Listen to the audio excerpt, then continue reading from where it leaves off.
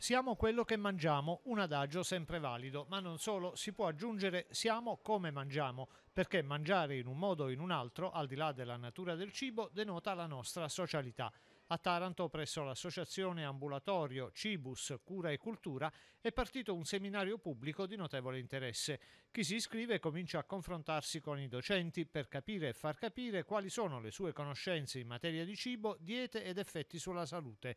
Poi, se ne avrà bisogno, potrà cominciare anche a farsi curare eventuali disfunzioni determinate da cattive abitudini alimentari. La caratteristica di questa iniziativa è proprio l'intermodalità, l'interazione tra le parti, la conoscenza guida fino alla consapevolezza più facile a farsi che a dirsi ed alla fine il biologo nutrizionista del centro è in grado di indicare con precisione l'alimentazione più giusta per ogni singolo soggetto.